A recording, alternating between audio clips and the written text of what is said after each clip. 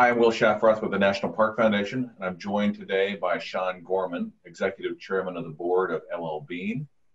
Shawn, thanks for agreeing to spend some time with me to discuss LL Bean's commitment to national parks and its partnership with the National Park Foundation.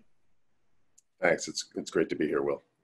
So, Shawn, let's, let's give you a, a softball out of the gate here. Do you have a favorite national park or two? Since I am in the state of Maine, I, I have to go with Acadia National Park. And I do have two because our newest national park, Katahdin Woods and Water National Monument, is, is also a new favorite. So both exceptional places to visit. Fantastic. And, and if you had a favorite moment in those parks uh, at Acadia or Katahdin that you want to share too? Um, I probably would say at, at Acadia, um, taking my children on uh, on their first kind of major hike and going up to uh, over the bubbles and coming down and looking down at Jordan Pond and then ending ending a, a fairly short hike but a good hike for a kid um, at the Jordan Pond House and having a, a pop over with them was a, a nice reward and I think kept them interested in going on outdoor adventures with their dad. Can you tell me a, a, bit about LL Bean's connection to the national parks and, and, and, as it relates to the National Park Foundation as well? Sure. Um, just it's such a natural natural partnership. But the you know, Bean has spent its time outfitting and, and equipping people to experience the outdoors, including all of our national parks. And you know, our great our founder, who's my great grandfather, Leon Leon Leonwood Bean, really believed that spending time outdoors added quality and quantity to his life. He lived to 94 years old. Uh, I think that belief, that fundamental belief that spending time outdoors makes one happy is, is a guiding principle that we still adhere to. In 2012, we celebrated our 100th anniversary and we partnered with the National Park uh, Foundation on the Million Moment um, mission. And we donated a million dollars to support youth programming. We um, we're really excited to partner again with the National Park Foundation to connect um, the next generation to the great outdoors, um, particularly in a time when I think we really need it. You've done a really nice thing for us at LL Bean to just create this national park collection. You know, things that are boats and totes and T-shirts and patches and other items that that uh, that allows customers to to have opportunity to have little memorabilia and from from their favorite places around the around the country. And so that really, really wanted to express our gratitude for for having you guys do that. Yeah, no, that's that's fantastic, Will. And again, I think that provides an opportunity for for us to it's a win-win, right? We get this nice capsule collection uh, with a cause marketing angle. Um, right in the national park collection and it and it's as you said there are boat and totes and t-shirts and patches and other items that promote the various national parks and our customers love it and um, and the benefits that that brings is, is more awareness to the parks and and uh, hopefully more participation in, in, visiting the national parks. You and I both spend a lot of our we, we choose to spend time outdoors, and it's something that I know refreshes me and probably refreshes you. But but I think that that time in nature, that time around trees and on the beach and on the top of a mountain, has a significant benefit for our psychology and our, our mental well-being and spending time outside um, for me has real restorative power and i think intuitively we all know it does. People are just spending more and more time outdoors now. You can see it every day just people walking biking around neighborhoods. Um, but again those those digital demands of today um, we're, we're, really finding that people are being overwhelmed and and we're really at Bean we're working on um, some some works with with people who are studying the science of awe and really getting out and experiencing awe in the outdoors. And, and that's really when you're in the presence of something larger and bigger than yourself. It's really important for our well-being because it allows us to kind of shed our mental burdens. Um, it decreases anxiety. It shifts our focus from ourselves to those around us or, or nature. And it, it just you know generally for me helps me be more patient and generous. And the list goes on. But yeah, we need it more than ever. And uh, national parks are a great way to uh, provide easy, accessible ways to experience these benefits.